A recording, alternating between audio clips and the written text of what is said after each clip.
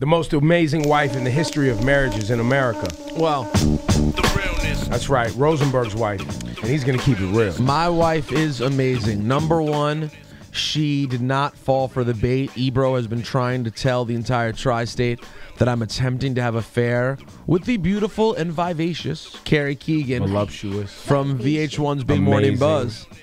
Ebro is trying to set it up that I'm having an affair, but I'm not. I'm not. And we talked to my wife earlier who explained why she trusts me and has no problem with me hanging out with an attractive woman. And ladies, if you have a husband or a boyfriend who you're trying to keep around, I suggest you heed the advice my wife is giving you right now.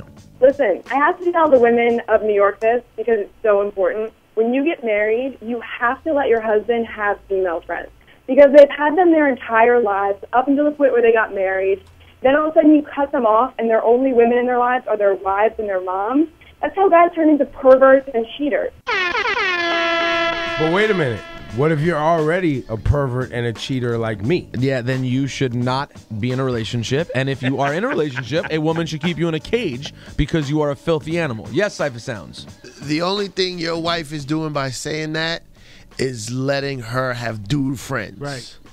She's just setting it up so that she can have guy friends. Oh, I respect it. See, I, Nah, I respect Alexa. I, I disagree. I disagree with that. My wife does. My wife works with guys, so I know for a fact she does have guy friends. she works in sports. she works with hot guys. Ooh, dudes. sports. Around athletes. No. bet you have some Athlete hot dudes. athletes all around Nice her. try, guys. She doesn't work with athletes. She works with the guys who cover athletes who are not nearly anything. Failed wannabe athletes. no, they're a bunch of losers.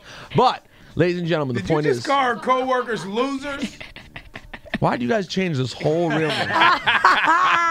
point is this: I'm not having an affair. I did not have sexual relations with that woman, Carrie Keegan. Very nice. And my wife is awesome. Thank you and good night. Wake up, New York. Good night. The Hot 97 Morning Good Show. afternoon.